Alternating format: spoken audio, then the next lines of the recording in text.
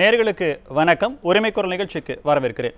இன்று உரிமை குரலில் நாம் விவாதிக்க இருக்கும் தலைப்பு இளையராஜாவுக்கு நியமன எம்பி பதவி சமூக நீதி காவலர்கள் வன்மம் காட்டுவது ஏன்? இந்த தலைப்பிற்கு பொருத்தமான ஒரு படத்தொகுப்பை முதல்ல பார்க்கலாம்.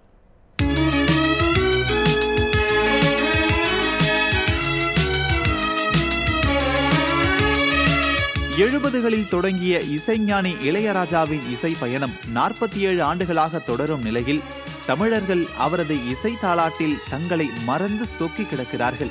தமிழ் மட்டுமல்லாமல் தெலுங்கு மலையாளம் கன்னடம் ஹிந்தி மராத்தி ஆகிய பல்வேறு மொழிகளில் நான்காயிரத்து ஐநூறுக்கும் மேற்பட்ட பாடல்களுக்கு இசையமைத்தவர். கடந்த ஏப்ரல் மாதம் அம்பேத்கர் தொடர்பான புத்தகம் ஒன்றில் முன்னுரை எழுதிய இளையராஜா பிரதமர் மோடியை அம்பேத்கருடன் ஒப்பிட்டு புகழ்ந்தது பெரும் சர்ச்சையை கிளப்பியது. பல தரப்பினரும் அவரை கடுமையாக விமர்சித்த நிலையில் இளையராஜாவுக்கு எம்பி பதவி வழங்கப்படலாம் என்ற பேச்சு அப்போதே அடிபடத் தொடங்கியது.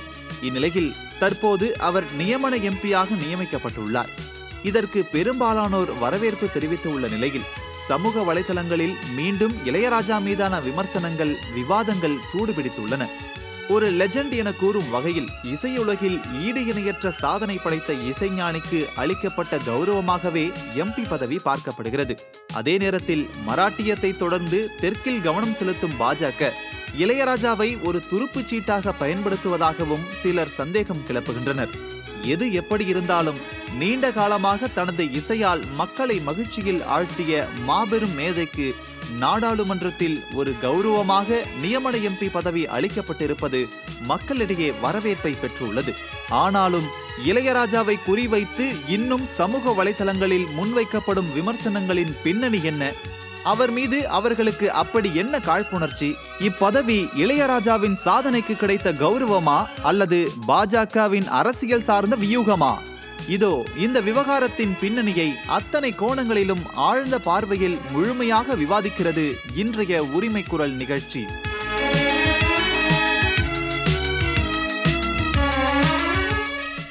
இன்றைய தலைப்பில் தம்முடைய கருத்துக்களை தெரிவிப்பதற்காக வந்திருக்கும் விருந்தினர்களை அறிமுகப்படுத்துகிறேன். முதலாவதாக ஜவஹர் அலி அனைத்திந்திய அண்ணா திராவிட முன்னேற்ற கழகத்திலிருந்து வருகை புரிந்திருக்கிறார். சார் வணக்கம். தொடர்ந்து விஷ்ணு சர்மா சமூக ஆர்வலர். சார் வணக்கம். ஆர்எஸ் தமிழ்வேந்தன் திமுக ஆதரவாளர். சார் வணக்கம். தொடர்ந்து இணைய வழியில் ரமேஷ் சேதுராமன் வலதுசாரியாக இணைகிறார். சார் உங்கள்கிட்டருந்தே ஆரம்பிக்கிறேன் இந்த நிகழ்வை அரசியலை கலந்து நீங்கள் பார்க்குறீங்களா? பாஜக தென் தமிழகத்தில் காலூன்றுவதற்கான ஒரு வாய்ப்பாக இது பார்க்கப்படுதுன்னு பொதுப்படையான கருத்தும் மறைமுகமாக தனிப்பட்ட முறையிலையும் இளையராஜா அவர்களை விமர்சித்தும் விமர்சனங்கள் வைக்கப்படுது. பொதுவெளியில் நீங்களும் பல கருத்துக்களை பார்த்துருப்பீங்க. இந்த பாஜகவினுடைய நகர்வை நீங்கள் எதோட பொருத்தி பார்க்குறீங்க? இல்லைங்க. பாஜக என்பது இந்தியாவின் ஒரு சக்தி வாய்ந்த கட்சியாக இருக்கிறது. நம்ம ஏடிஎம்கே அப்புறம் மற்ற கட்சிகளுடைய கூட்டணியில் அந்த என்டிஏ அப்படிங்கிற அந்த கூட்டணியில இருக்கு.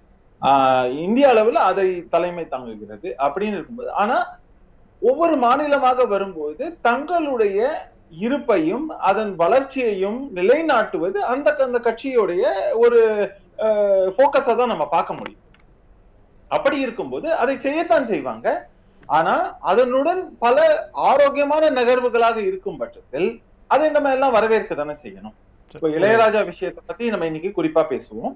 இளையராஜா விஷயம் அப்படின்னு சொல்லும்போது வன்மம் ஏன் கக்கப்படுகிறது? அப்படின்னு வந்து ஏன் அவரை வந்து இது பண்றாங்க அப்படின்னு?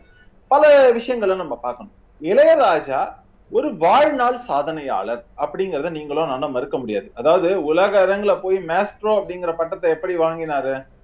ஏஆர் ரஹ்மான் ஆஸ்கர் நாயகன் அப்படின்னு தான் நம்ம சொல்றோம். அவரையுமே வந்து நம்ம ஒரு விஷயம் புரிஞ்சுக்கணும். அதாவது இசையாக இருக்கட்டும் அறிவியலாக இருக்கட்டும் இதுல எதுலையுமே நம்ம வந்து மதத்தையோ ஜாதியை எல்லாம் பாக்குறதுல அதையெல்லாம் கடந்து அவர்கள்லாம் ஒரு சாதனை செய்யும் போது நம்ம எப்படி பாக்குறோம்னா நம்முள் ஒருவர். ஒரு இந்தியர் ஒரு தமிழர் அப்படிங்கும் போது அது எவ்வளவு பெருமையா இருக்கு நமக்கு. நம்ம அப்படித்தான் பாக்குறோம் ஆனா அடுத்த ஆறு மாதங்கள்ல அவர் ஏதேனும் ஒரு அரசியல் கட்சியில சேரலாம் என்ற ஒரு நிலை வாய்ப்பு இருக்குது. அவர் பாஜகவில் சேருவார்ன்ற நம்பிக்கையை நம்ம கொள்ளலாமா? இல்ல இல்ல. நான் திரும்பவும் அதை முழுசா முடிச்சிடுறேன். அப்படி சேரணுங்கிற அவசியமும் கிடையாது. நீங்க பாத்தீங்கன்னா பிரசிடென்சியல் நாமினேஷன் இந்த கேட்டகரியில இப்ப லதா மங்கேஷ்கர் அவர்கள் இருந்தாங்க. நீங்க பாத்தீங்க. அவங்களுக்கு தொடர்ந்து எம்பி வாய்ப்பு கொடுக்கப்பட்டது. அதே மாதிரி நடிகை அப்படின்னு எடுத்தீங்கன்னா ஹேமாமல். இந்த மாதிரி பல பேர் இருந்திருக்காங்க. அப்படி இருக்கக்கூடியவர்கள் இது மட்டும் இல்ல இது பல இது காங்கிரஸ் அரசு இருந்த போதும் சரி அதற்கு முன்பும் சரி தொடர்ந்து ஈவன் டெண்டுல்கர் சச்சின் டெண்டுல்கருக்கும் எம்பி பதவி கொடுக்கப்பட்டது சிறந்த கிரிக்கெட் வீரர் இதுல. இந்த மாதிரி எல்லாம் பார்த்தோம். அதை தொடர்ந்து பாரத் ரத்னா அது இதுன்னு சொன்னோம். சோ இந்த மாதிரி ஒரு வாய்ப்பு அப்படிங்கிறது வந்து கொடுக்கப்படுகிறது. அப்படிங்கும் போது அதை நிச்சயமா வரவேற்கணும் அதை யாரும் ஏன் அவங்களால இது இது ஜீர்ணிக்க முடியலன்னு சொன்னா இங்கே வந்து அதாவது அஹ், பாலிவுட்னு சொல்லுவோம். பாலிவுட்டை பொறுத்த வரைக்கும் ஒரு ஒரு குறிப்பிட்ட கும்பல். அதாவது நான் சொல்லணும் இது வந்து அகைன் நீங்க வந்து மதமோ இதுவோ எல்லாம் பார்க்க வேண்டாம். ஒரு குறிப்பிட்ட இந்த இந்தியாவிற்கு எதிராக செயல்படக்கூடிய ஒரு கும்பல். அது ரவுடி கும்பல்னு நீங்க எடுத்துக்கலாம் என்ன வேணா எடுக்கலாம் அவங்க மட்டும் திரும்ப ஏன்னா அது ஒரு சமூகத்தின் மேல வந்து பூசிட்டோங்கிற மாதிரி எல்லாம் சொல்ல வேண்டாம். அது அவங்க அந்த மாதிரியான ஒரு இவங்க பண்ணும்போது மணி லாண்டரிங் மற்ற விஷயம் அவங்க கைப்பிடியில வச்சிருக்காங்க. அதே மாதிரிதான் கிரிக்கெட்டும் சொல்லப்பட்டது. அந்த மாதிரி ஒவ்வொரு விஷயத்திலையும் சொல்லும்போது இங்கேயுமே பாத்தீங்கன்னாக்க நம்மளுடைய திரைத்துறையையும் அதை சார்ந்தவர்களையும் தங்களுடைய கட்டுப்பாட்டுக்குள் வைத்துக் கொண்டால்தான் தங்களுடைய அவர்களை தங்களது பிரச்சார பீரங்கிகளாக தகுந்த நேரத்துல பயன்படுத்துறது. ஒரு உதாரணத்துக்கு சொல்றேனே. இந்தியால ஏதாவது வந்து தேச விரோத செயல்ல ஈடுபட்டவர்கள் ஒரு சிலரை பத்தி நீங்க கேள்வி கேட்டீங்கன்னா ஒரு எக்கோ சிஸ்டம் ஆக்டிவேட் ஆயிடும். அவங்க என்ன பண்ணுவாங்கன்னா திருப்பி நீங்க சொல்ற பார்வையில முன் வச்சா இளையராஜாவுடைய மகன் கருப்பு சட்டை கருப்பு வேட்டி அணிஞ்சு ஒரு கடற்கரையில் நின்னு தமிழன் திராவிடன் அப்படின்ற ஒரு போஸ்டர் போடுறாரு. அது உங்களுக்கு தெரிஞ்சிருக்கும்னு நினைக்கிறேன். இல்லைங்க எனக்கு. ஒரு விஷயம் புரிஞ்சுக்கங்க. நீங்க தமிழன்னு சொல்றதுல அதான் சொல்றேன்ல. இளையராஜாவையும் அதை தான் சொல்றோம். உங்களையும் அதை தான் சொல்றோம். நானும் சொல்றேன் நாம இந்தியர்கள் கிடையாது. இல்ல நீங்க திரைத்துறையை வந்து ஒரு ஒரு ஒரு தரப்பினர் வந்து ஆளுமையில வச்சுக்கணும். அதற்கு இந்த நிகழ்வு வந்து எதிரா இருக்குன்னு பாக்குறாங்கன்னு சொன்னீங்கன்னா அப்ப அவருடைய மகன் வந்து அவங்க பக்கம் தான் இருக்காரு. அப்ப அது ஈக்குவல் ஆயிடுச்சு இல்லையா? அதை எப்படி அவங்க போட்டியா பார்ப்பாங்கன்ற ஒரு பார்வை நீங்க எப்படி வைக்கிறீங்க? அவங்கள பொறுத்த வரைக்கும் என்னன்னா நீங்க யாரை வந்து பாராட்டணும்னா கூட அந்த எக்கோ சிஸ்டம் பொறுத்த வரைக்கும் யாரானு ஒருத்தர் ஒரு படம் கூட ரிலீஸ் பண்ணணும்னா யார் கண்ட்ரோல்ல இருக்குன்னு இன்னைக்கு உங்களுக்கு தெரியும். எந்த ஒரு படமும் ஒரு டேக் இல்லாம முடியாது. ரியல் எஸ்டேட்லயும் அதே மாதிரி நடக்குதுங்கிறது எல்லாருக்குமே தெரியும். சரி. இரண்டாயிரத்தி இருபத்தி நான்கு தேர்தலுக்கு ஒரு முன்னோட்டமா ஒரு ஒரு தோராயமான ஒரு ஒரு ட்ரையலா இதை பார்க்கலாமா? ஏன்னா ஒரு குறிப்பிட்ட வாக்கு வங்கி அவரை சார்ந்த சமூகத்துக்கு இருக்கு. அதற்குன்னு ஒரு கட்சி இருக்கு. அந்த கட்சியினுடைய வாக்குகளை வாங்குவதற்காக ஒரு மூவ்மெண்ட் அப்படின்னு பார்க்கலாமா? அது எவ்வளவு அப்படின்றது நான் சொல்ல தெரியல. இல்ல இல்ல இல்ல அப்படி கிடையாது அப்படின்னு நான் சொல்லுவேன். அதான் திரும்பவும் சொன்னது. நம்ம இளையராஜா அவர்களை வந்து ஒரு சமூகத்தோட சுருக்கிட்டோம்னா இப்ப தேவ இவரை வந்து நம்ம வந்து நம்ம பசுனம்பொன் முத்துராமலிங்க தேவர் அவர்கள் அவர் தேவர்னு வேணா பேர்ல சொல்லாம வழிய அனைத்து சமூகமும் மதிக்கக்கூடிய வணங்கக்கூடிய ஒரு தலைவர்.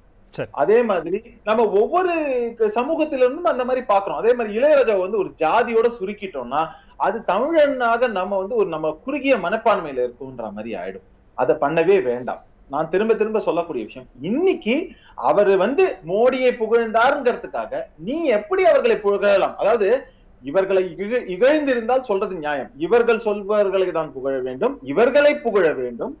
இப்படி அடுத்தவர்கள் இவர்கள் கேட்காமல் புகழ்ந்து விட்டால் அவர்கள் மீது வன்மம் கக்குவது. இது. மாதிரியான ஒரு அதாவது வந்து இதை சொல்றேனே இதுதான் வந்து இந்த டிராலிங்ல இருந்து ஆரம்பிச்சு அவங்களோட கேரக்டர் அசாசினேஷன் வரலைக்கும் போவாங்கங்கிறதுக்கு இளையராஜா விஷயம் ஒரு சிறந்த சரி. உதாரணம். சரி ரமேஷ் சேதுராமன். உங்களுடைய கருத்தை எடுத்துக்கிறேன் திரு விஷ்ணு சர்மா. இது நீங்க எப்படி பார்க்கறீங்க? ஒரு ஒரு பிரிவை சார்ந்த முன்னேற்றத்திற்கான நகர்வா நீங்க பார்க்கறீங்களா? இது பாஜகவினுடைய என்ன ஆதாயத்தை தேடின ஒரு ஒரு செயல்பாடா? முதலாவதாக திரு இளையராஜா அவர்களுக்கு நம்முடைய வாழ்த்துக்களை நம்ம வந்து சொல்லிடுறோம்.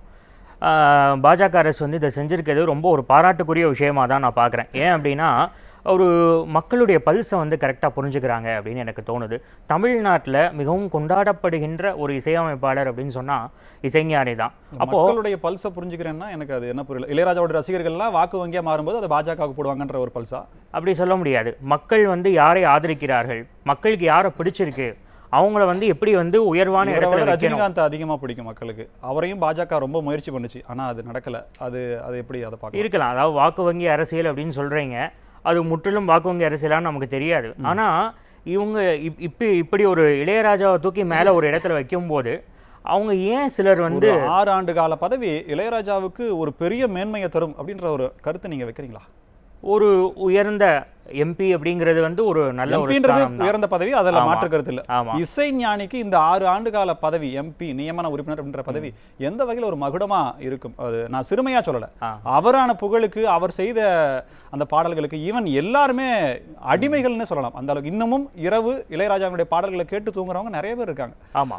இன்னமும் அவர் காலம் கடந்து நிற்பார் அப்படின்றதா பார்க்கப்படுது. அப்படி இருக்கும்போது ஒரு நியமன உறுப்பினர் எம்பின்றத வந்து எப்படி நம்ம ஒரு அதாவது ஒரு ரசிகனுடைய பார்வையிலிருந்து என்னுடைய மனதிலே அவர் ஒரு மிகப்பெரிய நாற்காலியில் அமர்ந்திருக்கிறார் அப்படின்னு சொல்றது எனக்கு பெருமை தான். நான் அதை மறுக்கவே இல்லை. வலதுசாரியா பார்க்க போனா நீங்க முன்னாடி சொன்ன கருத்து. அப்படி இல்ல. ஒரு அரசியல் கட்சி என்ன செய்ய முடியும்? ஒரு மக்கள் அதை வந்து எப்படி வெளிப்படுத்த முடியும் அப்படின்னு சொன்னா ஒரு உயர்வான இடத்துல வர வச்சு கட்டாயமா வந்து பாராட்டலாம். இதுல எந்த பெரிய தப்பும் இல்ல. ஆனா இவர்கள் மீது ஏன் வன்மம் செலுத்துகிறார்கள் அப்படின்னு பார்த்தா கொஞ்ச நேரம் முன்னாடி கூட இது சம்பந்தமான டாபிக்ஸ்லாம் வந்து பார்த்துட்டு இருக்கும்போது இளையராஜா அப்படின்னு சொல்லி நான் வந்து ஹேஷ்டேக் போட்டு ட்விட்டரில் வந்து தேடுறேன்.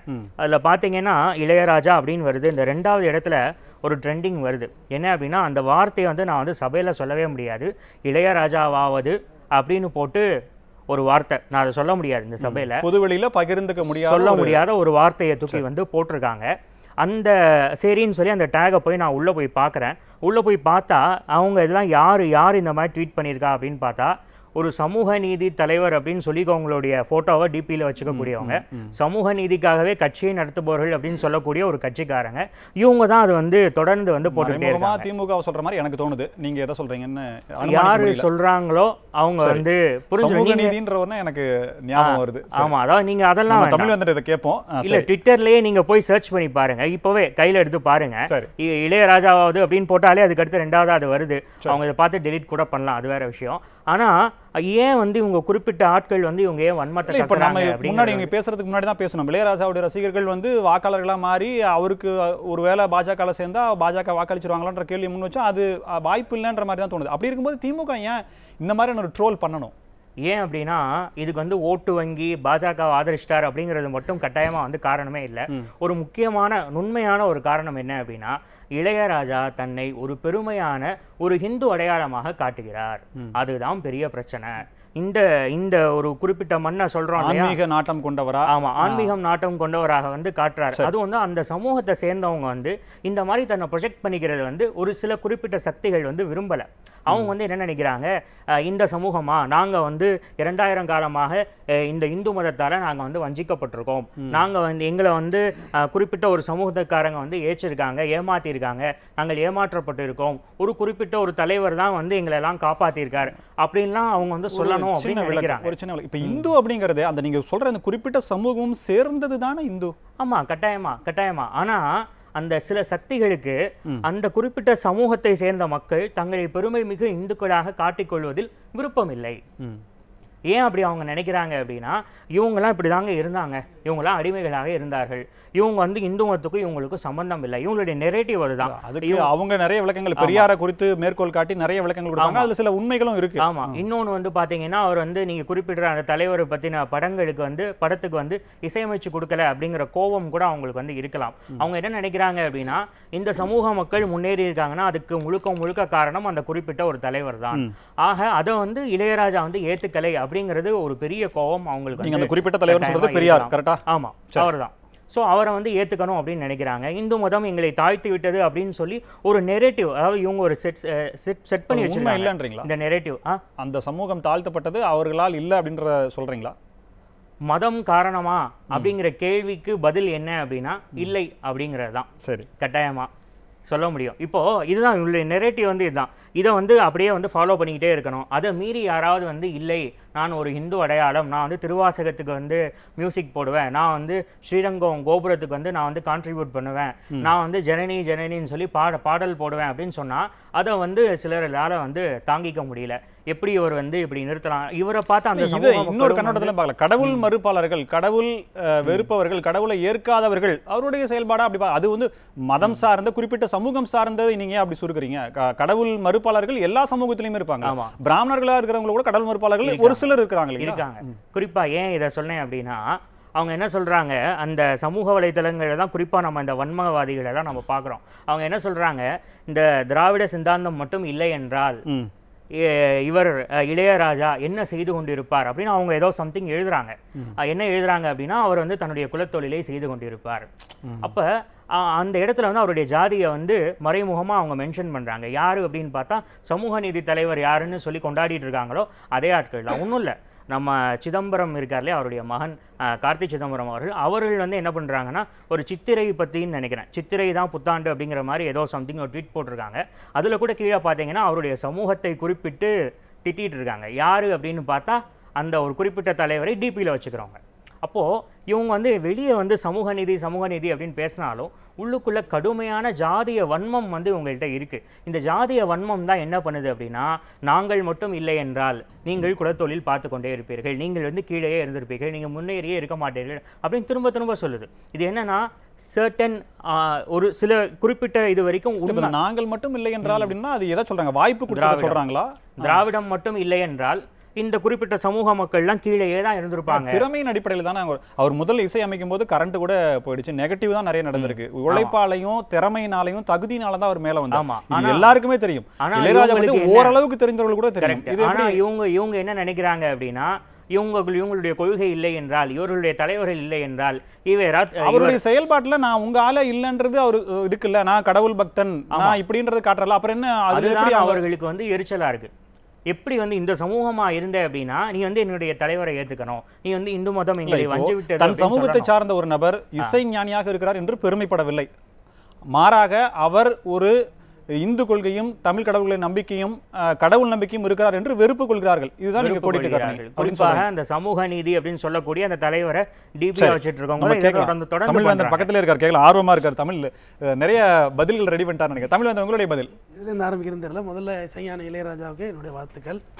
அது முதல்வரும் அந்த வாழ்த்து சொல்லியிருக்காங்க. பெரிய பெரிய சொல்கிற எல்லாருமே இதுலேருந்து வாழ்த்து சொல்கிறாங்க யார் இதுலேருந்து பின் வாங்கல வாழ்த்து சொன்னதை விட ட்ரெண்டிங் வந்து ஆப்போசிட் பண்ணதான் வந்துடுறேன் நீங்கள் அருமையாக இருக்க கேட்டிருக்கீங்க. கடைசி தமிழன் கடைசி சக்கரவர்த்தி அதாவது டிரைவர் இருக்கிற வரைக்கும் இளையராஜாங்கிறவர் அழிய மாட்டார். அந்த இசையை கேட்டுக்கிட்டு தான் இருக்கும். அதில் யாரும் அவருடைய அவருடைய திறமைக்கோ இதுக்கோ வந்து யாரும் இங்கே யாருமே அவரை குறை சொல்லலை. ஆனால் இதில் ஒன்றே ஒன்று சொல்கிறேன் பல்ஸ் அதிகம் இருக்குது அப்படிங்கிற அதுக்கு யோகி பாபு கூட தான் அதிகமான பல்ஸ் இருக்குது அதுக்கு யோகி பாபு கூப்பிட்டு கொடுத்துட முடியுமா? எம்பி கொடுக்க மாட்டீங்களா? கொடுக்க முடியாது மாட்டாங்க. இவர் அம்பேத்கரை பற்றி பேசுனது வந்துருவோம் பாயிண்ட்டுக்கு வந்துருவோம். யோகி பாபும் கடவுள் நம்பிக்கை அதிகம் உடவுள் தான். ரைட் இந்து நாட்டமாக இருந்தது. இந்து நாட்டமாக இருந்ததில் இங்கே வந்து மதம் காரணம் இல்லை அப்படின்னு ஐயா சொன்னார். அப்புறம் அந்த அடிமைத்தனமாக வச்சுருந்ததை ஒத்துக்கிறீங்க அப்போ மதம் காரணம் இல்லைங்கிறீங்க. அப்போ யார் அடிமைத்தனமாக வச்சுருந்தது? சரி இப்போ இந்த ஹேஷ்டாக் ட்ரெண்டிங் பண்ண வேண்டிய அவசியமே இல்லையா சார்? இப்போ ஐடி விமர்சிக்க வேண்டிய ஐடி அவசியமே இல்லையா சார்? கரெக்டு தான் நெறியாளர் ஐடி ஐடின்னு சொன்னீங்கல்ல.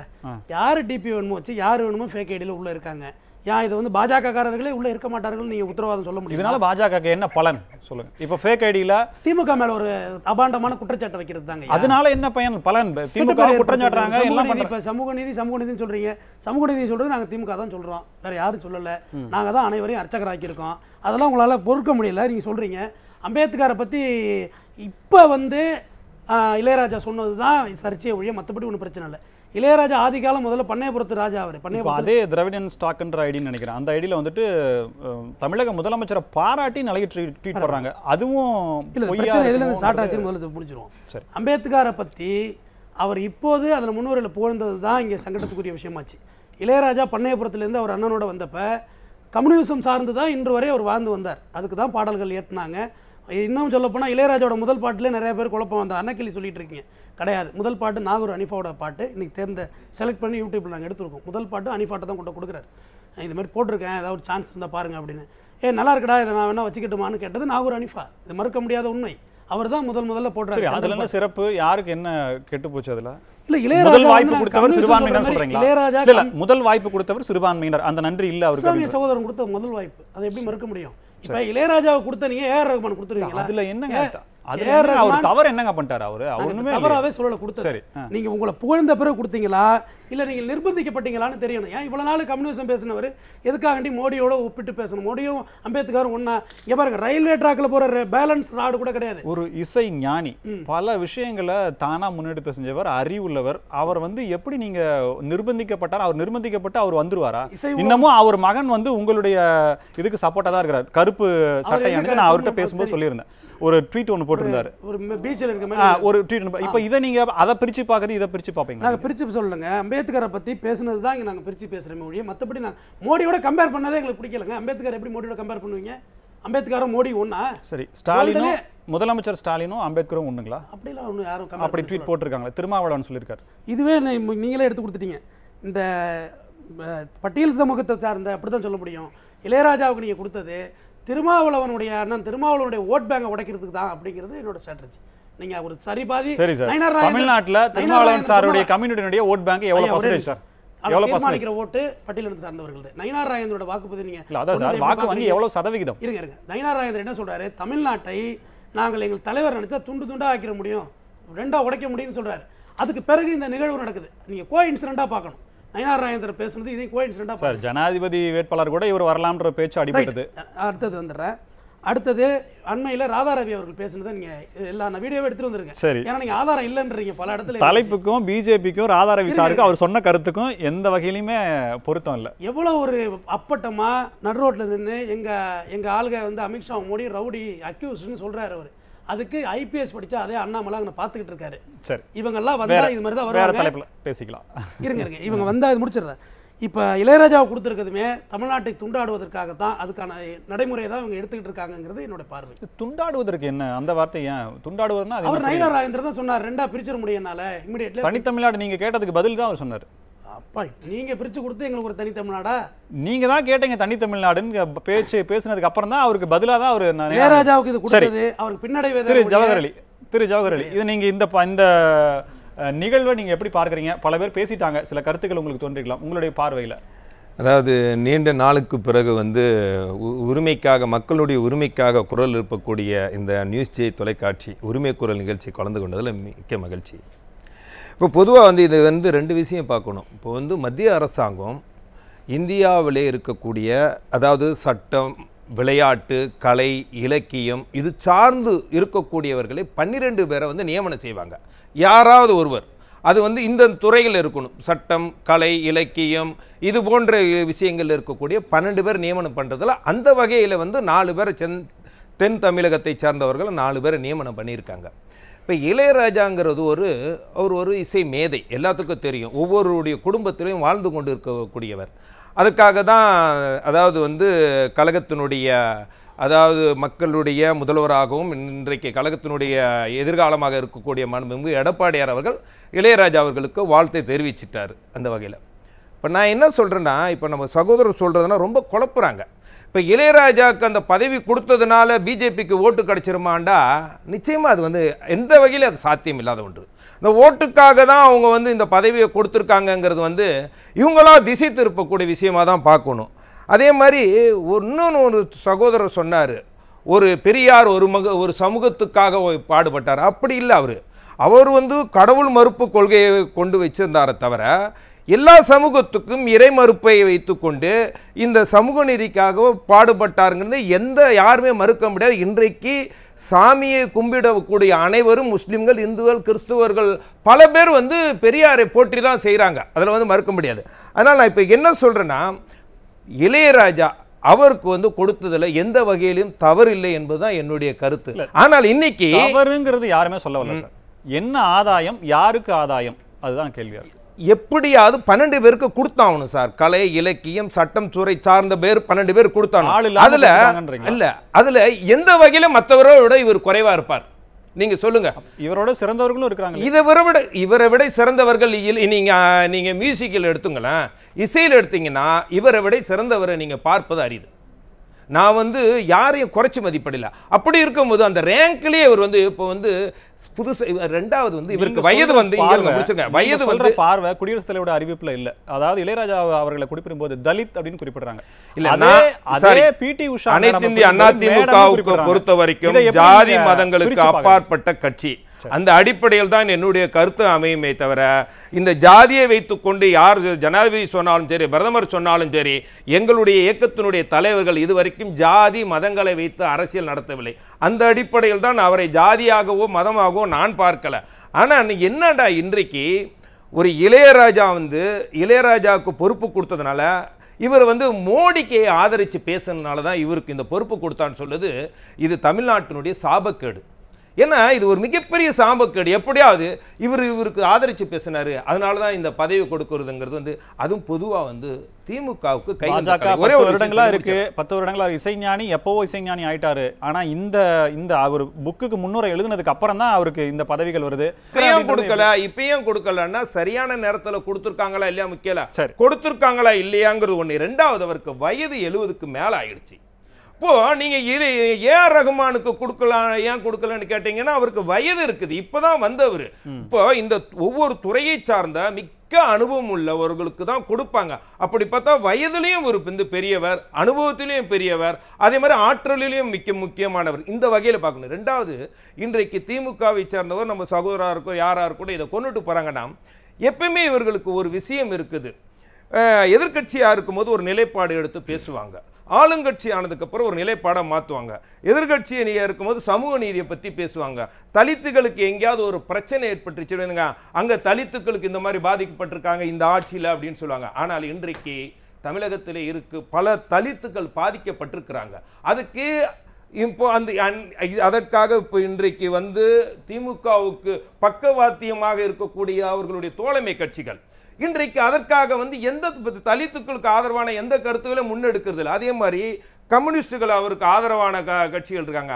அவர்கள் வந்து எதிர்க்கட்சி அண்ணா திராவிட முன்னேற்ற கழகம் ஆட்சியில் இருந்தபொழுது அவர்கள் வந்து எதுக்கெடுத்தாலும் போராட்டத்தை நடத்தினாங்க. நீங்க பாத்தீங்கன்னா ஒவ்வொரு விஷயத்துக்கும் போராட்டம் ஆனா இன்னைக்கு ஏதாவது போராட்டம் நடத்துனாங்களா? இன்னைக்கு பக்கவாதமாய் போயிருக்குது அந்த கட்சி. அதே போல தான் சிறப்பான இன்றைக்கு சிறப்பான ஆட்சி மிக. முக்கியமான ஒரு இஸ்லாமியல நான் சொல்லணும்டா அனைத்து இந்திய அண்ணா திராவிட முன்னேற்ற கழகம் ஆட்சியில் இருக்கும்போது முஸ்லீம்களுக்கு பொறுத்த அண்ணா அண்ணா திராவிட முன்னேற்ற கழகம் புரட்சி தலைவி அம்மாவை பொறுத்த வரைக்கும் வந்து அனைத்து மதங்களையும் அரவணைத்து செல்லக்கூடிய தலைவியாக இருந்தார். அதை பின்பற்றி தான் மாண்புமிகு எடப்பாறு ஆட்சியும் இருந்தது. ஆனால் அன்றைக்கு சின்ன சின்ன விஷயங்களெல்லாம் எடுத்து போராட்டம் நடத்தினார்கள். திமுகவும் அவர்களை சார்ந்து இருக்கக்கூடிய முஸ்லாமிய அமைப்புகளும். இன்றைக்கு திமுகவினுடைய தேர்தல் அறிக்கையில் என்ன சொன்னாங்க? நாங்கள் ஆட்சிக்கு வந்தால் சரி. இதை முடிச்சிடுறது முக்கியமான. விஷயம். நாங்கள் ஆட்சிக்கு வந்தால் சிறை கைதிகளை விடுதலை செய்வோம் அப்படின்னு சொன்னாங்க. செஞ்சாங்களா? அதற்கு எதிர்த்து ஒரு கோரிக்கை வைத்து இஸ்லாமிய பெண்கள் போராட்டம் நடத்தினாங்க. சட்ட சிக்கல் நிறைய இருக்கு. அது வேற தலைப்பு. நம்ம இல்ல தலைப்பு நான் இது எதுக்குன்னு சொல்றேன். சமூக நீதியில வருது. ஏன்னா உங்களுக்கு ஆட்சியில் இருக்கும்போது ஒரு நிலைப்பாடு எடுத்து பேசுறீங்க.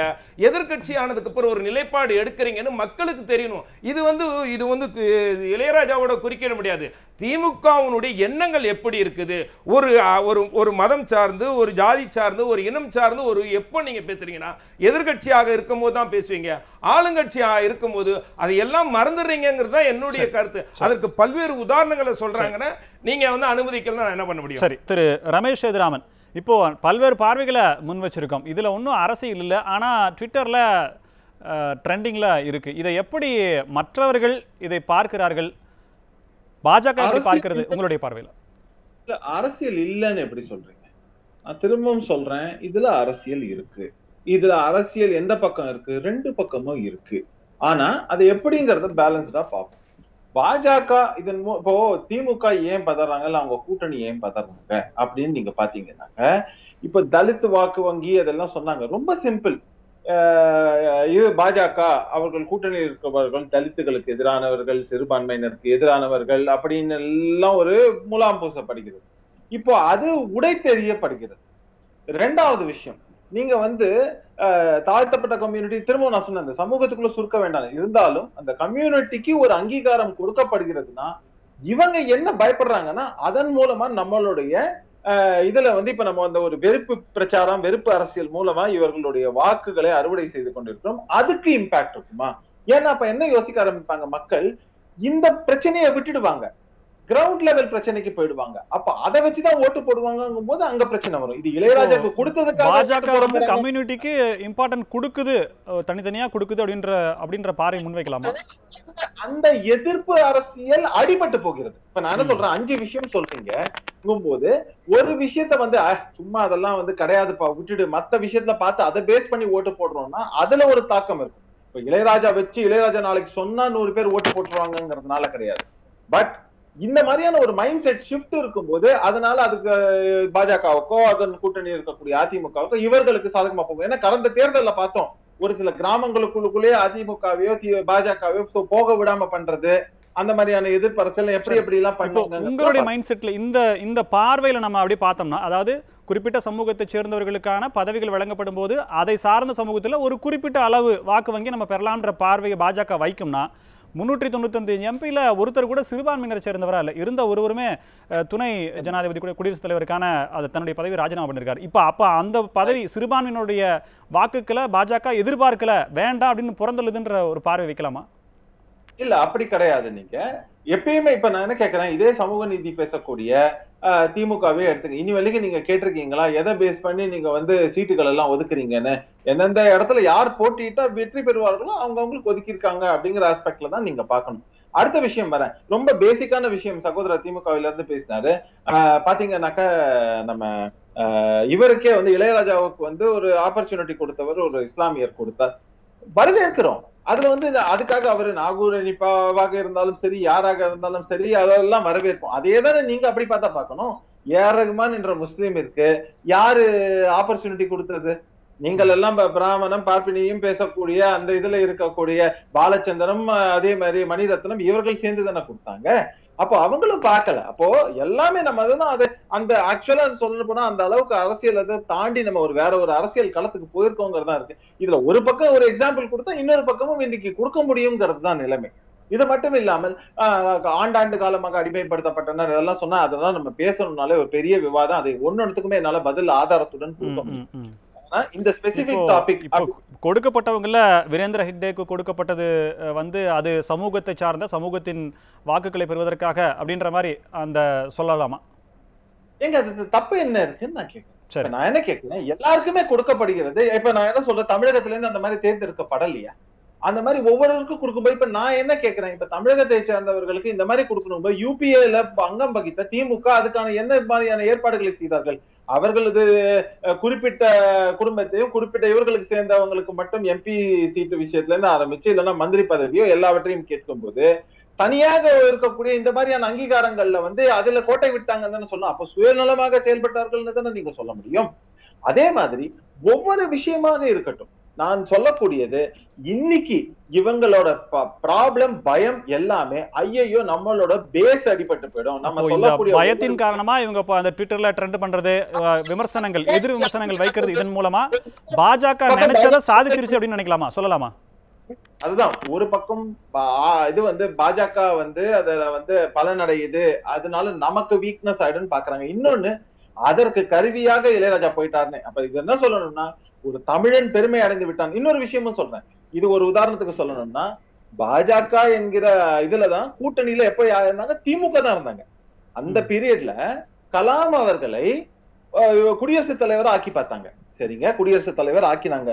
இதுல வந்து பங்கு வந்து திமுக என்ன எப்படி எடுத்தாங்க நாங்க தான் அதுல இது இருந்தோம். ஆனா அதே கலாமை இரண்டாவது மொழியாக முறையாக அவர் பேரை முன்மொழிந்த போது கலாம் என்றால் கலகம்னு சொன்னாங்க அப்போ. உண்மையிலேயே கலகா நீங்க சொல்லக்கூடிய சிறுபான்மை சமூகம் அது இளையராஜாவாக இருக்கட்டும் இல்லைன்னா இந்த தாழ்த்தப்பட்ட சமூகம் அப்படின்னா இளையராஜாவாக இருக்கட்டும் சிறுபான்மை சமூகம் அப்படின்னு சொன்னா அது வந்து அப்துல் கலாமாக இருக்கட்டும் தேசப்பற்றுடையவர்கள் இவங்க யாரு முன்னுக்கு வந்தாலும் இவர்களால் பொறுத்து கொள்ள முடியாது. மகாராஷ்டிரா அரசியல் மாற்றத்திற்கு பிறகு இந்த தென் தென்னிந்தியால குறிப்பா நான்கு பேருக்கு இது வழங்கப்பட்டிருக்கு. பாஜகவினுடைய அடுத்த அக்ரசிவ் மூவ் தென்னிந்தியா தான் அப்படின்ற ஒரு பார்வையை முன்வைக்கலாமா? கிடையாது. அப்போ எங்க நம்ம இதான் சொல்றோம்ல. வடக்கே வாழ்கிறது தெற்கே தேய்கிறது வடக்கு வந்து தெற்கை வஞ்சிக்கிறதுலாம் பேசுறோம். இன்னைக்கு இதை கொடுக்கும்போது வரவேற்க வேண்டியது அப்போ அவங்களும் அதை செய்ய வேண்டிய அவர்கள் தெற்கு தெற்குடைய முக்கியத்துவத்தை புரிந்து கொண்டார்கள்னு கூட எடுத்துக்கங்களேன். நீங்க சொல்ற மாதிரி வஞ்சிக்கப்பட்ட வஞ்சிக்கப்பட்டதா கூட இருக்கட்டும். ஒரு பர்சன்ட் சொல்றேன் நான்.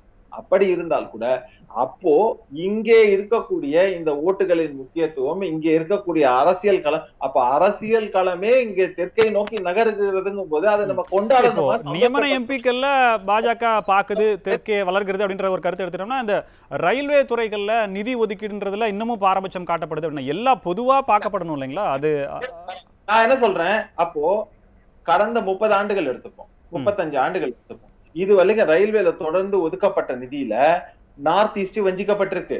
மற்ற மாநிலங்கள் வஞ்சிக்கப்பட்டிருக்கு.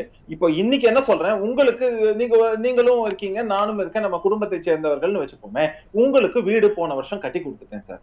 இந்த வருஷம் உங்களுக்கு வீட்டுக்கு கட்டி கொடுக்க முடியாது. வெள்ளை அடிக்கிறதுக்கு பணம் தான் கொடுக்க முடியும். இன்னொருத்தருக்கு வீட்டை வீட்டுல இருக்கக்கூடிய இரண்டாவது மகன் மூன்றாவது மகனுக்கு வீடு கட்டி கொடுக்கப்படுகிறதுனா நீங்க என்ன சொல்றீங்க? அவனுக்கு வீட்டை கட்டி கொடுக்குற எனக்கு வெள்ளை அடிக்க மட்டும்தான் பணம் கொடுக்குற அப்படின்னு நீங்க சொல்றீங்க. இது எந்த வகையில நியாயம்? இப்போ அதே மாதிரி எல்லாத்துலயுமே வரி இதுல இருந்து வருவாயில இருந்து எல்லாத்தையும் அப்படிதான் சொல்றேன் ஏங்க உங்களுக்கு டிஃபென்ஸ் காரிடார்ல இருந்து இங்க கொண்டு வந்து கொடுக்குறாங்க. அது வேணும். ஆனா அதுல இருந்து வரிய வந்து பாதியை நீங்க வாங்கிப்பீங்க. மீதியிலும் வந்து மத்திய அரசோட ஷேர் வேணும். ஆனா இனாம உங்களுக்கு வந்து இது வேணும் இது வேக்சின் வேணும். நாம ரேஷன் வேணும். எல்லாமும் வேணும். அதிகமா ஏதாவது போச்சுன்னா நாங்க. வந்து பங்கேற்க மாட்டோம். ஆனா மேல மேல பணம் வரணும். இதையும் மீறி கடைசியில இல்ல ஒரு பத்து செகண்ட் இதையும் மீறி கடைசியில என்னன்னாக்க மாநில அரசு மற்ற மாநிலங்களை முன்னேற்றிடவே கூடாது. எதை அதை வச்சும் அரசியல் பண்ணணும். அப்படின்னு இருந்தா இது ஒரு ஒரு கொஞ்சம் கஷ்டப்படுறவங்க இருக்காங்க அப்படின்னாக்க வீட்டுல அவங்களுக்கும் அதுக்காக பகிர்ந்து தானே கொடுக்கணும். அவங்களையும் கை தூக்கி விட வேண்டியதுதானே நம்ம கடமை. நம்ம இந்தியாங்கிற ஒரு நாட்டுல அந்த பெருந்த மனப்பான்மை இல்லைன்னா என்ன பண்றது? அனைத்து மாநிலங்களையும் மத்திய அரசு சமமா பார்க்குது அப்படின்ற பார்வை முன்வைக்கிறீங்க. சரி.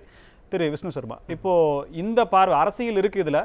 ஆனா செய்யப்பட்ட விஷயம் வந்து முழுக்க முழுக்க தனக்கான ஒரு பலனா இல்லை அப்படின்ற மாதிரி சொல்றாரு. உங்களுடைய பார்வையில.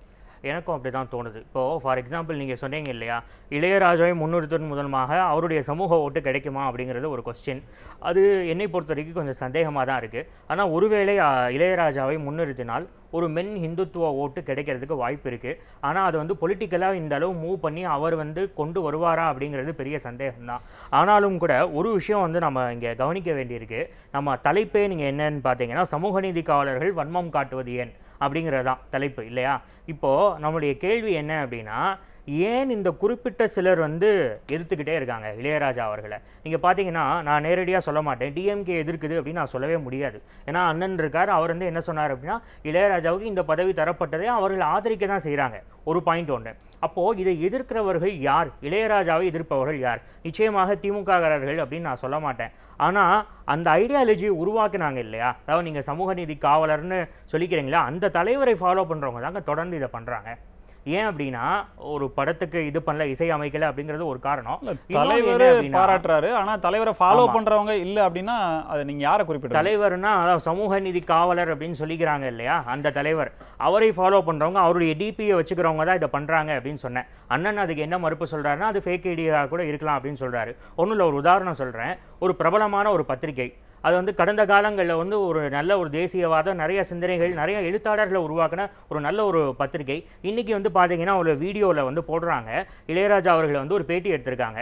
அந்த பேட்டியில் வந்து அவர் பல விஷயங்கள் பேசுகிறார் மூணு நிமிஷம் வீடியோ தான். அது வந்து மொழிகளுக்கு இசைக்கு வந்து மொழி இல்லை அப்படிங்கிற மாதிரியான ஒரு கருத்தை வந்து முன்னே முன்வைக்கிறார். அப்போது நீங்கள் தம்ப்ளைன் போடும்போது எப்படி போடணும்? இசைக்கு மொழி இல்லை அப்படின்னு சொன்னதை இல்லையா போடணும்? ஆனால் நோண்டி நோண்டி கேள்வி கேட்கும்போது அவர் என்ன சொல்கிறார் அப்படின்னா ஹிந்தி மொழிக்கு லேசான ஒரு நளினம் இருக்குது இசைக்கு ஏற்ற மாதிரி அப்படின்னு சொல்லி சொல்றாரு.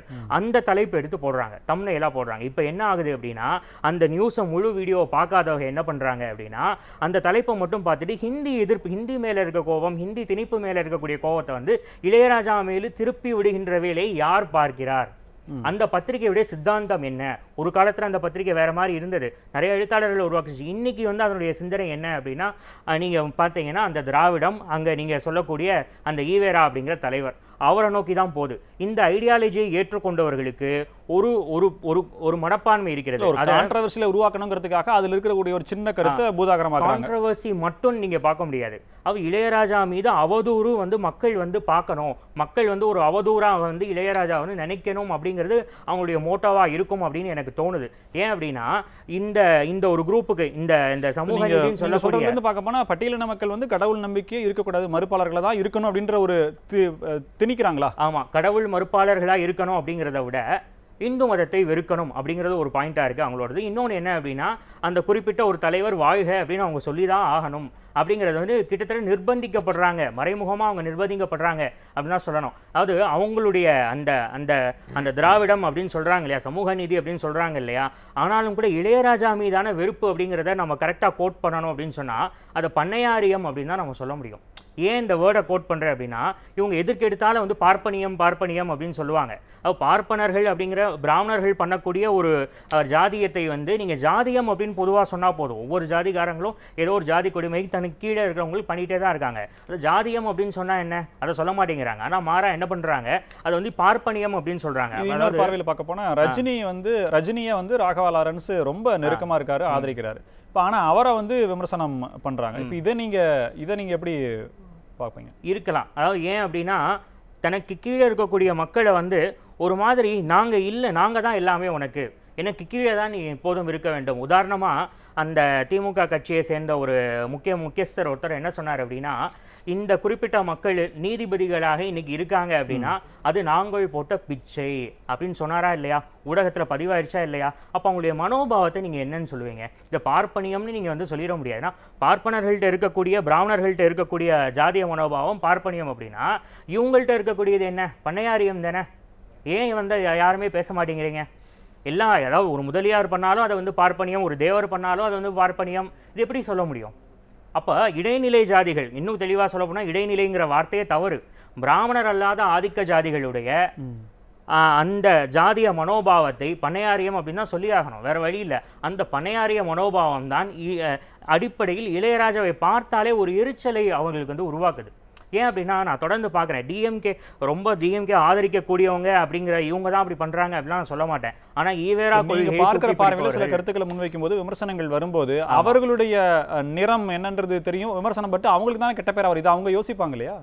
அவங்களுக்கு வந்து என்ன அப்படின்னா அவங்க தெரிவிக்கிற கருத்து தவறு அப்படின்றது தெரிஞ்சிரும் இல்லையா? தெரியும். ஏன்னா இளையராஜா விஷயத்துல யாரும் இப்ப நீங்க சொன்ன மாதிரி தான் திங்க் பண்ணுவாங்க. ஆமா. அவரு ஒரு சமயத்தை சார்ந்தோ ஒரு மக்களுக்கானவரோ இல்ல அப்படின்றதான எல்லாருக்குமே தெரியும். ஆமா. ஸோ அப்போ அவங்களுடைய எண்ணம் என்னவா இருக்கு அப்படின்னா ஒரு ஒரு என்ன சொல்றது? அதாவது ஒடுக்கப்பட்ட ஒரு சில சமூகம் ஒடுக்கப்பட்டன்னு கூட சொல்ல வேண்டாம். பட்டியலின அப்படின்னு கூட நம்ம வச்சுக்கோமே அந்த சமூகத்தை சேர்ந்த மக்கள் வந்து தன்னுடைய சுயமரியாதையோட நான் தான் நான் என்னுடைய என்னுடைய கடவுளை நம்புகிறேன் நான் என்னுடைய சமயத்தில் இருக்கிறேன் அப்படின்னு சொல்லி வெளியே வர்றதை வந்து அவங்க வந்து கட்டாயமாக வந்து விரும்பவே இல்லை. அவங்க என்ன என்ன நினைக்கிறாங்க? நீங்கள் எல்லாம் எப்போதும் எங்களுக்கு கீழே தான். நாங்கள் போட்ட பிச்சை தான் எல்லாமே. நீங்கள் வந்து எங்களுக்கு விசுவாசமாகவே இருக்க வேண்டும். நீங்கள் வந்து எங்களுடைய தலைவருக்கு வந்து ஜெய போடணும். நீங்கள் வந்து இந்து மதம் எங்களை ஒடுக்குச்சு அப்படின்னு சொல்லணும். அப்பனா அந்த சமூகத்துக்கு அவர் வேண்டியது செய்யணும் இல்லையா? அவருடைய சமூகத்துக்கு அவர் செய்யணும் அப்படின்னு சொல்றீங்க. அவர் நான் அதான் சொல்றேன். இப்போ நீங்கள் ஃபஸ்ட்டு கேட்டீங்க. அது அவரை வந்து ஓட் பேங்க் பாலிடிக்ஸாக பண்ண முடியுமா அப்படிங்கிறதே ஃபஸ்ட்டு கொஸ்டின் தான். ஏன்னா அவர் தன்னுடைய சமூகம் அப்படிங்கிறது வந்து அவருடைய சமூகங்கிறது தமிழ் சமூகம். அவருடைய சமூகம் இசை சமூகம். அவருடைய சமூகம் இந்திய சமூகம். இவ்வளோதான் விஷயம். நீங்கள் ஏன் வந்து அவரை வந்து குறிப்பிட்ட ஒரு ஜாதிய வட்டத்துக்குள்ளே வச்சுட்டு இவர் வந்து இந்த இதுக்கு பண்ணாரா அந்த இவருக்கு பண்ணாரா? தமிழ் சமூகத்துக்கு பண்ணாருங்க. இசை சமூக எல்லா ரசிகர்களுக்கும் பண்ணாருங்க. அதோட என்ன பெரிய சேவை வந்து நாம் எதிர்பார்க்க முடியும்? ஆக ஒருவர் இந்த மாதிரியான ஒரு சமூகத்தில் இருந்து வரக்கூடிய ஒருவர் வந்து தன்னை பெருமை மிகு இந்துவாக அடையாளப்படுத்துவதை தான் இவர்கள் எதிர்க்கிறார்கள். டிஎம்கேல இருக்கக்கூடிய தெய்வ நம்பிக்கை இருக்கக்கூடிய இந்துக்கள் கூட இளையராஜாவை ஆதரிக்கிறார்கள். ஆனால் இந்த சமூக நீதி கொள்கை என்று சொல்லிக்கொண்டு இந்த ஈவேரா தெளிவாக அதுதான் சொல்லணும். அந்த ஈவேராவுடைய கலர் தாங்க இது தெளிவா. அது வந்து தெளிவா பண்ணையாரி இன்று ஆறு மாதங்கள்ல அவர் பிஜேபியில சேர்ந்தாலும் அது ஒரு பெரிய பேசுபொருளா இருக்காது அப்படின்றீங்க. ஆமா. அதே நேரத்தில் இந்த வன்மத்தை கக்கவர்கள் யார் அப்படின்னு பார்த்தா திமுக கட்சிக்காரர்கள் நான் சொல்ல மாட்டேன். அவங்க கிடையாது. ஆனா அவங்க இவங்க திமுக காரர்கள் இவங்கள்ட்ட கொஞ்சம் கவனமா இருக்கணும். முன்னாடிலாம் கொஞ்சம் நிறைய இடம் கொடுத்தாங்க. இப்போ அவங்களுக்கே புரிஞ்சு போச்சு. மக்களுடைய பல்ஸுக்கு எதிராக வந்து டிஎம்கே வந்து திருப்பி விடக்கூடிய சக்தி வந்து இந்த திராவிட அந்த பழைய திராவிட சக்தி அந்த ஈவேரா சக்திகளுக்கு உண்டு. சரி. ஸோ இதை வந்து புரிஞ்சுக்கணும். சரி. திரு தமிழ்வேந்தன் உங்களுக்கே ஒரு எச்சரிக்கை உணர்வை கொடுக்குறாரு. இப்போ நீங்க உங்க தலைவர் வந்து பாராட்டுறாரு அஹ், பெருமையா பேசுறாரு அப்படின்ற போது ஆனா உங்க கூட்டணிக்குள்ள இருக்கக்கூடிய ஒரு சிறு பிரிவை சார்ந்த கட்சிக்கு அவங்க வேறு மாதிரியான பதிவுகளை போடுறாங்க ட்விட்டரில் ட்ரெண்ட் ஆகுது. அது காழ்ப்புணர்ச்சி சமூக நீதிக்கு எதிரானது அப்படின்ற மாதிரிலாம் கருத்து பரவுது. ஒரு விவாதம் வைக்கிற அளவுக்கு கருப்பொருளாக இருக்குது. இதை நீங்கள் எப்படி பார்க்குறீங்க? நீங்கள் ஜாக்கிரதையாக இருக்கணும் இல்லையா? இல்லை நிச்சயமாக அதில் ஒன்றும் இல்லை. இப்போ ஒரே ஒரு விஷயம் சொல்லிடுறேன். தம்மா நான் இளையராஜாவுக்கு இது கொடுக்கப்பட்டது மிக மிக வரவேற்கிறோம் யாரும் இதில் எந்த கான்ட்ரவர்சியான கருத்து எங்களிடம் இல்லை. ரொம்ப ரொம்ப சந்தோஷம். ஆனால் பாஜகவோட நகர்வு என்பது எங்களுக்கு பயத்தை தரும். அவங்க ஒரு ஒரு ஸ்டெப் எடுத்து வைக்கிறதும் அடுத்தடுத்த நகர் தென் தென்னை நோக்கி வர்றேன்னு சொல்லிட்டாங்க. அடுத்தடுத்த நகர் இப்போ அண்ணாமலையை வந்து தலைவராக்கினதுலேருந்து எல்முருகனை தலைவராக்கி அங்கே கொண்டு போனதுல நீங்கள் பார்த்துக்கிட்டே வாங்க ஒன்று ஒன்றையும் அவங்களோட ஸ்ட்ராட்டஜி வந்து வேறு மாதிரி இருக்கும். இது எல்லாமே இதெல்லாம் இதெல்லாம் செஞ்சால் தான் நாங்கள் அமைதியாக இருப்போங்கிறது அவங்களுக்கு தெரியும். இதே இளையராஜாவை கொடுக்காம வேற யாருக்காவது கொடுத்தா தான் நாங்கள் விமர்சனம். பாலிடிக்ஸ் செக்ஸா பாருங்க. நீங்க உங்க உங்களுக்கு வைக்கக்கூடிய ஒரு ஒரு செக்கா பாருங்க நீங்க. அதையும் நீங்க இல்ல, இப்படி இளையராஜா விமர்சிச்சு நீங்க அப்படி சொல்றீங்க? பாலிட்டிக்ஸ் ஸ்ட்ரக்சர்னு பார்க்க முடியாது. வீர வீரராகவன் ரைக்டரை பற்றி சொன்னீங்க. அது அப்படியே கட்டாய வேற டாபிக் வந்துட்டு. அவர் என்ன கேட்டுக்கிட்டு இருக்காரு இத்தனை வருஷமா சொல்லுங்க. துளுவ மாநிலம் பிரித்து கேட்குற ஒருத்தர். அவருக்கும் கொடுத்துருக்காங்க தனி மாநிலம் பிரித்து கர்நாடகாவில் துளுவ மொழியை பிரிச்சவங்க தனியாக பிரித்து கொடுங்கன்னு கேட்குறாரு. இதை எப்படி நாங்கள் பார்க்குறோம்? நாங்கள் ஆழமாக பார்க்குறோங்க. உங்களோட நகர்வை நாங்கள் பயப்படுறோம். நீ காவிரி இஷ்யூஸ் தான் பிரிவினையை தூண்டுது பாஜக அப்படின்ற ஆமா காவிரி இஷ்யூஸ்க்காக இந்த நாடகத்தை போடுறாங்க. ஏன்னா அது இருக்கிறது எந்த இடத்துல அவங்க கேட்குறது கர்நாடகாலேருந்து அணை தண்ணி வர்ற இடத்துல அவங்க கேட்குறது பிரிவினை கேட்குறாங்க அவங்கள தனியாக விட்டாக்க கர்நாடகா ஆள்றது பாஜகன்னு நாங்கள் சொல்லுவோம். ஆனால் அது வேற அது வேற இப்போ தெலுங்கானா மாதிரி தனியாக சொல்லுவாங்க கதை. இந்த இதில் சேர்க்க மாட்டாங்க. நாங்கள் இன்னைக்கு உள்ள சார், பிரச்சனை நீங்க சொல்றதெல்லாம் நாளைக்கு நாளான்னைக்கு நடக்கக்கூடிய வாய்ப்புகள் மிக மிக ரொம்ப அருகாமையில் நடப்பா. நடத்தி காட்டு நடத்தி காட்டுவாங்க. ஏன் இப்போ இப்போ மகாராஷ்டிராவில் பார்க்கலையா? டே நைட்டில் என்ன நடந்துச்சுன்னு? எல்லாத்தையும் பார்த்துட்டு தானே இருக்கீங்க. நம்மளை சுற்றி என்ன நடக்குதுன்னு? திமுகவை பொறுத்தவரையிலையும் ஒருபோதும் இதுக்கு நாங்கள் எதிர்ப்பாவோ இதுவாவோ இப்போ நீங்கள் சொல்கிற சுற்றி சுற்றி சொன்னீங்க. தீக்காவை சொல்கிறீங்கன்னு நினைக்கிறேன். அப்படி தானே சமூக நீதி சமூக நீதின்னு. அப்படிலாம் கிடையவே கிடையாது. அவங்க அது மாதிரி விடுதலை சிறுத்தைகள் ரெண்டையுமே இல்லை அவங்க அது மாதிரி எதிர்பார்க்குறதே கிடையாது. அந்த மாதிரியான இதுவே தவறான விஷயமா தான் நாங்கள் பார்க்குறோம். அப்படி விமர்சனங்கள் வைக்கப்படுது. உங்க கூட்டணி கட்சி அந்த இரண்டு கட்சிகளும் தானே வைக்கப்படுது. அப்ப அது உங்களுக்கு ஒரு அவப்பெயரை ஏற்படுத்தும் இல்லையா? அதை கவனிக்கணும் இல்லையா? நாங்கள் வந்ததே அதுல இருந்தா வர்றோம். அவங்க எப்படி எங்களுக்கு எதிரானவர்களாக எப்படி இருப்பாங்க? அப்ப அவங்க சொல்றது சரின்னு ஒத்துக்கிறீங்க நீங்க. யார் சொல்கிறது அஹ் அவங்க ரெண்டு பேரும் என்ன விதத்துல விமர்சனங்கள் வைக்கிறாங்களோ அது திமுக வைக்கிற விமர்சனத்தோட ஆழத்தை நான் பார்த்துட்டு தான் சொல்றேன். நான் தக்க சொல்றது என்னோட ஓன் கருத்து தான் நான் சொல்றேன். என்னோட ஆழத்தை சொல்றேன். பேசுங்க, விசிகான்னு சொன்னாங்க. விசிகா பற்றி எனக்கு ஐடியாலஜி இல்லை. ஆனால் தீகா வந்து நிச்சயமாக அஹ், தீகாக்காரர்கள் தான் இதை செய்கிறார்கள்னு சொல்லி நம்ம வந்து உறுதியாகவே நம்ம சொல்ல முடியும். ஏன்னா அந்த ஐடியாலஜி வந்து அந்த மாதிரி. அண்ணன் வந்து அதுல இருந்து தான் வந்திருக்காரு அந்த கருத்து அதுல இருந்தா நாங்க வந்திருக்கோம் அதுல மாற்று கருத்து. இல்லைன்னு சொல்லி சொல்றாரு. குங்குமம் அணிஞ்சிருக்காரு இல்லையா? அதுல இருந்து கொஞ்சம் வெளியே வராரு இல்லையா. டிஎம்கே வந்து அதாவது ஈவேராவுக்கும் அண்ணாதுரைக்கும் என்னென்ன சண்டை நடந்ததுங்கிற வரலாற்றுல இருக்கு. நமக்கு வந்து அப்போ அவங்க ஒரு அரசியல் கட்சியாக மாறும்போது இவர் குங்குமம் அணிஞ்சிருக்கனால இவருக்கு ஆபத்து இருக்குன்னு சொல்லி சொல்லி வருவாங்களா? ஏன்னா இவரும் மாற்று நம்பிக்கை உடையவரா இருக்காரு. தீகாவிலிருந்து பிரிந்து திமுக அப்படின்னு ஒன்று உருவாகும் போதே அது வெகுஜன பாலிடிக்ஸை நோக்கி போகும்போது ஓட் பேங்க் பாலிடிக்ஸை நோக்கி போகும்போது அது தீகாவிலிருந்து தன்னை துண்டித்து கொண்டது. அதாவது அந்த ஐடியாலஜி நீர்த்து போச்சு. அதாவது ஆன்மீக அரசியல்னுலாம் இன்னைக்கு நம்ம சேகர் பாபு இவரெல்லாம் சொல்றாரு இல்லையா? அப்போ அதெல்லாம் வந்து அதனுடைய இதாக தான் நான் வந்து பார்க்குறேன் ஆக இந்த இவங்க செய்யக்கூடிய சில வேலைகள் வந்து திமு திமுகவை கூட பாதிக்கிறதுக்கான வாய்ப்புகள் இருக்கு. திரு தமிழ்வேந்தன் விமர்சனங்களே தேவையில்லையே தமிழ்வேந்தன். இது- இது எந்த விதமான நெகட்டிவ் விமர்சனங்களே தேவையில்லை. யாருமே பதிவிட வேண்டிய அவசியமே வைக்கல. இல்லை சொல்ற இப்ப விஷயத்தை- இளையராஜா வந்து ஒட்டு மொத்தமா நம்ம முதல்ல பாராட்டி தமிழ்நாட்டுல முதல்ல ஒரு பாராட்டினார்ல. யார் நெகட்டிவ் விமர்சனம் வைக்கிறோம் பாராட்டுவாங்களா? நீங்க சொல்றவங்க வந்து அதோட ஆழத்துக்கு வேணா போயிருந்திருக்கலாம். ஆனா அவங்க அரசியல்லே பங்கெடுக்கல. நீங்க சொல்ற அந்த சமூக நீதினா அவங்க பாலிட்டிக்ஸ்க்கே வரலையே அவங்க. அவங்க என்ன ஓட்டு அரசியல்ல இருக்காங்களா? இல்ல. ஆனா தாக்கத்தை ஏற்படுத்தும் சித்தாந்தம். கருத்துக்கள் தாக்கத்தை ஏற்படுத்தும் பெரியாரிசத்தை வந்து சாதாரண மனுச்சுறாங்க அந்த பெரிய சித்தாந்தம். இன்னைக்கு இந்த இப்போ நீங்கள் நான் சொன்னோன்னே கடுமையான கோவப்படுவீங்க. இவ்வளோ டெவலப்மெண்ட் கொடுத்தும் இவ்வளோ பெரியாரிசம் வந்தோம் இவ்வளோ சமூக நீதி இவ்வளோ இடஒதுக்கீடு இவ்வளவு அண்ணல் அம்பேத்கர் கொடுத்தும். ஒன்றும் தாழ்த்தப்பட்ட சமுதாயம்லாம் கிடையாது. தமிழிசை சவுந்தரராஜன் அவர்கள் மருத்துவர் மாண்பும் மருத்துவர் அக்கா தமிழிசை சவுந்தரராஜன் அவங்க மேலாம் அவ்வளோ மதிப்பு உண்டு நமக்கு. ஏன்னா அவர் குமரியானந்தனுடைய டாக்டரு இன்னைக்கு சென்னையில் அறுபது பேருக்கு காலையில் இலவசமாக டயாலிசிஸ் பண்ணுறாங்க இது அவங்க கட்சிக்காரங்க சொல்கிறாங்களோ இல்லை நான் சொல்கிறேன் ஓகேவா? அப்படி கொண்ட ஒரு தன்மை வாய்ந்த ஒருத்தவங்களை சிதம்பரம் கோயிலில் நேற்று என்ன நடந்துச்சு? பார்த்தீங்களா இல்லையா? கீழே உட்கார வச்சுட்டு கூட வந்த எஸ்கார்டு அவங்க வந்து ஆளுநர் சாதாரண இது கிடையாது. நம்ம மந்திரியை விட எல்லாம் பவர் வச்சாங்க அந்த லட்டை அவங்க எப்படி போட்டாங்க? தீட்சிதர் பார்த்தீங்களா இல்லையா? டக்கு டக்குன்னு. பக்கத்தில் ஒரு பிராமணருக்கு எப்படி கொடுத்தாங்க? இது அது வந்து வீடியோவில் ஒரு ட்ரெண்டிங் முறையா பார்க்கலாம். இப்ப முன்னாள் முதலமைச்சர் ஜெயலலிதா அவர்களுக்கு காஞ்சி பீடத்துக்கு போகும்போது அவங்க எப்படி வாங்கினாங்கன்றது எல்லாமே அது ஒரு முறை. இதுக்கு நான் சொல்லிடுறேன். இதுக்கு தான் நாங்கள் வந்து இப்போ இது போன்ற நிகழ்வுகள்லாம் நடக்கக்கூடாதுங்கிறதுக்காக தான் நாங்கள் இருக்கோம். இல்ல அதுல என்ன நீங்க விமர்சனம் பண்ற அளவுக்கு அதுல என்ன இருக்குன்றீங்க இப்போ நீங்க ஜாதி நிறைவேற்றுமை பார்க்கலையா நீங்க அங்க பார்க்கலன்னு சொல்றீங்களா அப்படின்னா கட்டாயமா இல்ல தீட்சிதர் கோயில்ல விளக்கம் அவர்கிட்ட வாங்கி சொல்லுங்க. நிர்மலா சீதாராமன் அவர்கள் ஒரு மாத்வ மடத்துக்கு போறாங்க. அங்க வந்து எப்படி தமிழிசை சவுந்தரராஜன் சொல்றாரு. அஹ், அதே மாதிரி தான் நிர்மலா சீதாராமன் அவர்கள் அவங்களுடைய சமூகம் என்னன்னு உங்களுக்கு தெரியும். அவங்க ஒரு மாத்வ மடத்துக்கு போனாங்கன்னு நினைவு. அங்கே என்ன அப்படின்னா தன்னுடைய சேலையிலிருந்து ஒரு பகுதி இந்த முந்தானை அந்த இதில் வந்து அதில் தான் வந்து பிரசாதம் வந்து கொடுப்பாங்க. டச் பண்ணாம தான் வந்து கொடுப்பாங்க. அதாவது சன்னியாசிகள் வந்து பொதுவாக யாரையும் தொடக்கூடாது அப்படிங்கிற சில ஒரு விஷயம். இது வந்து ஜாதியால வர்றது கிடையாது. ஏன்னா நிர்மலா சீதாராமன் என்ன சமூகம் அதே ஒரு ஆண். பிரசாதம் வாங்கினாலும் அதே போல தான் ஆன்மீகம் ஆன்மீகத்துல இருக்கவங்க குறிப்பா அர்ச்சகர்களே கோவில்ல வந்து நீங்க பாத்தீங்கன்னா கோவில்ல சாமி விக்கிரகங்கள் கைப்படாம. பண்ணும்போது கைப்படாம கொடு. இது வந்து என்ன ஜாதியா இருந்தாலும் சரி. இல்ல வந்து ஜாதி வேற்றுமையே கிடையாது. ஆனா இந்த விஷயத்தை வந்து பூதாகரமாக்கி பூதாகரமாக்கி. ஆக்கி பிராமணர்கள் இப்படிதான். இவங்களாம் அப்படிதான். சேதுராமன் நீங்க சொல்லலாம். ஒரே நிமிஷம் அவர்கிட்ட சொல்றேன். இன்றைய முதல்வர் அவர்கள் அவர் வந்து நடுவுல முன்னாடி எல்லாம் வந்து எதிர்க்கட்சி தலைவரா இருந்தபோது பல முறை பரப்புரைக்கெல்லாம் போனாங்க பாத்தீங்களா அப்பெல்லாம் வந்து அது அஹ், அப்பெல்லாம் பார்த்தப்போ ஒரு மா அஹ், பெண்கள்லாம் உட்காந்துருக்காங்க அங்க பஸ்லயோ இதுலயோ அதெல்லாம் வந்து பேசிட்டு இருக்கும்போது பக்கத்துல செல்ஃபிக்கு ஒருத்தர் வந்து அடிச்சு தள்ளுறதெல்லாம் நம்ம பார்த்திருக்கோம். அதாவது தட்டி தள்ளுறாரு. அதே மாதிரி ஒரு பெரியவர் வந்தப்போ இழுத்து அவங்க இதுல இருந்து பக்கத்துல நிக்க விடாம பண்ணாங்க. அப்ப நான் அதே நம்ம இதே இதை சொல்லலாம் இல்லையா? அப்ப அவர்கள் ஜாதி பார்த்தது இருந்தா பக்கத்துல நிக்க விடல. அதனாலதான் இதை பண்ணல. தோற்றத்துல ஜாதி எப்படி பா தெரியும்னு சொல்றீங்க சேதுராமன் ஏங்க இது மட்டும் நீங்க சொல்றீங்க இல்லையா? இதுல பாக்குறீங்கல்ல? அப்ப எங்க அவங்க கட்சிக்காரங்களே அவங்களுக்கு தெரியாதா? அப்ப நம்ம ஈஸியா சொல்லிட்டு போயிடலாமே. நான் என்ன சொல்றேன்? இந்த மாதிரி சாதாரண நிகழ்வுகளை அவர்கள் அரசியல் ஆக்குவார்கள் ஆனால் இதே மாதிரியான எதிர்கருத்துக்களையும் திரும்ப சொல்ல முடியுமே? அப்ப அவர்கள் வந்து அதை ஜீர்ணித்துக் கொள்ள தயாராக இருக்கணும். இந்த மாதிரி ஒவ்வொரு விஷயத்தையும் சொல்லலாம். அவங்க கட்சியை சேர்ந்த மந்திரி தான் என்ன பேசினாருன்னு பார்த்தோம். அதாவது அரசியல் அரசுடைய ஒரு இது எம்ப்ளாயியை எந்த மாதிரி ஜாதியை சொல்லி திட்டினாருன்னு பார்த்தோம். அதே மாதிரி இந்த மாதிரி பல நிகழ்வுகளை சொல்லலாம். இவங்க தான் சமூக நீதி சமூக நீதி. நாங்க கையெழுத்துல எத்தனை கோடி மக்கள் நன்மை அடைந்திருக்காங்கன்ற பட்டியலை முதலமைச்சர் வெளியிடுறார். ஒரு என்ன கையெழுத்துல. இல்ல நீங்க சொல்றீங்களா பட்டியல் சமூகத்தை பண்றீங்கன்ற அவர் நன்மையும் செஞ்சிருக்காருன்னு சொல்ல வரேன் ஏங்க நான் தான் சொல்றேனே யாரு நன்மை செஞ்சாலும் வரவேற்போங்க. எங்களுக்கு வந்து குறுகிய மனப்பான்மை கிடையாது. நான் என்ன சொல்றேன் யாரு ஆனால் உங்களுக்கு இருக்கிறதாங்கிறது தான் கேள்வி. ஏன்னாக்க இப்ப மோடி அவர்கள் செய்யறது வந்து ரேஷன் கொடுக்க இலவச ரேஷன் அத்தனை பேரும் இந்தியா பூராவுக்கும் கொடுக்குறாங்கன்னா அதை வந்து ஒத்துக்கிறது இல்ல அதை பத்தி பேசுறது கிடையாது. ஏன் நல்லது செய்யும் அதுதான் ஆரோக்கியமான அரசியல்.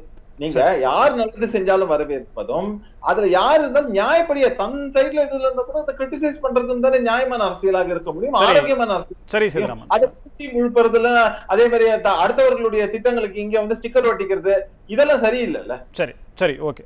ஜவஹர் அலி உங்களுடைய இறுதி கருத்து சுருக்கமா.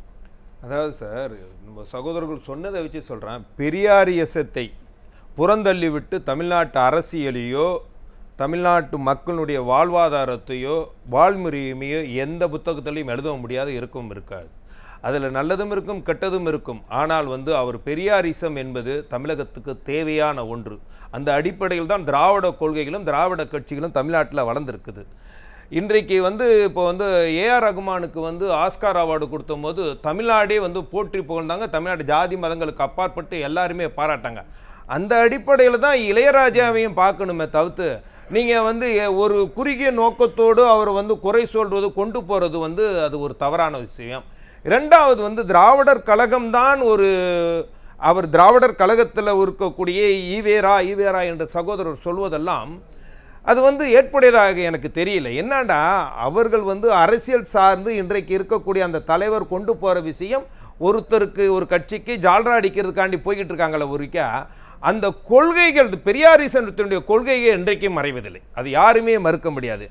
இதே வந்து இன்றைக்கு வந்து இப்போ வந்து அந்த கொள்கைகளை முன்வைத்து தான் சமூக நீதி காவலர்கள் அந்த வன்மமான பேச்சுக்களை ட்விட்டர்ல அந்த மாதிரியான இதுங்களுக்கு மேற்கோள் காட்டி ஒவ்வொரு சமூகத்திலும் ஒவ்வொரு துறையிலும் ஒவ்வொருத்திலும் சிலர் இருக்கத்தான் செய்வார்கள். அதற்காக ஒட்டுமொத்த சமூகத்தையும் நீங்க குறை சொல்வது என்று ஒரு சமூகத்தை இன்றைக்கு ஒரு சமூகத்தை இஸ்லாமிய சமூகத்தை யாரோ ஒருவர் தவறு செய்தாண்டு இன்றைக்கு ஒட்டுமொத்தமா அது தீவிரவாத சமூகம் என்று சொல்லக்கூடிய ஒரு சமூகம் இங்க தமிழ்நாட்டில் இல்லையா? ஒரு சமூகத்தை அதாவது இப்படிதான் இவர்களுக்கு ஒரு தனக்கு தேவையான விஷயத்தை எடுத்துக்கொண்டு அந்த சமூகத்தை கொச்சைப்படுத்துவதில் சிலர் இருப்பார்கள். அதற்காக எல்லாரும் இருக்கணும். ஆனா இன்றைக்கு ஏற்கனவே தமிழகத்திலிருந்து நியமன எம்பிக்களாக ஒரு ஏழு எட்டு பேர் தேர்ந்தெடுக்கப்பட்டிருக்காங்க. நம்ம ஹேமா மாலினியா இருக்கட்டும் நம்ம எஸ் எஸ் சந்த எஸ் எஸ் வாசனா இருக்கட்டும் சிவாஜி கணேசனா இருக்கட்டும் அஹ், ரேகாவா இருக்கட்டும் நிறைய பேர் இருக்காங்க. ஆனா அவர்களுடைய அந்த பாராளுமன்றத்தில் அவர்கள் செய்த சாதனை என்ன? என்று பார்க்கும்போது உண்மையிலே வந்து பேர் சொல்லக்கூடிய அளவுக்கு ஒண்ணுமே இல்லை. அந்த நிலைமைக்கு இளையராஜாவும் கொண்டு போய் விடக்கூடாது என்பதுதான் என்னுடைய ஆதங்கம். உண்மையிலே தமிழ்நாட்டுக்காகவும் தமிழக மக்களுக்காகவும் அவருடைய குரலையும் இசைக்காகவும் கலைக்காகவும் கொடுக்க வேண்டும். ஏதோ பேருக்காக நான் பாராளுமன்ற உறுப்பினர் ஆயிட்டேன். அந்த பொறுப்போட நான் இருந்துகிட்டு போறேன் இருந்தேன்னா அதுல பயனில்லை இப்படிப்பட்ட நிலைமைகள் எல்லாம் உருவாக்கி விடக்கூடாது என்று என்னுடைய பார்வையாக சரி சரி. இசை ஞானிக்கு இந்த பதவி என்பது நிச்சயமாக ஒரு வரவேற்கப்பட வேண்டும். இந்த பதவிக்கு பிறகு என்ன நடக்கப் போகிறது என்றை பொறுத்திருந்து பார்க்கலாம். அரசியல் ரீதியான சாயம் பூசி ஒரு குறிப்பிட்ட சில நபர்கள் இதற்கு எதிர்மறை கருத்துக்களும் வன்மமான கருத்துக்களும் தெரிவிப்பது உள்ளபடியே வருத்தம் அளிக்கிறது. அதை அவர்கள் மாற்றிக்கொள்ள வேண்டும். இதற்கு எந்த கொள்கைகளும் துணை போகக்கூடாது. அந்த கொள்கையை துணையாக வைத்து இந்த வன்மமான கருத்துக்களை தெரிவிக்கக்கூடாது அது வருத்தம் அளிக்கிறது என்பது அனைவருடைய பார்வையிலும் வெட்ட வெளிச்சமாக தெரிகிறது. விருந்தினர்கள் அனைவருக்கும் நன்றி. உரிமை குரல் நிறைவு பெறுகிறது. இணைந்திருங்கள். நியூஸ் ஜேவுடன் நன்றி. Thank you.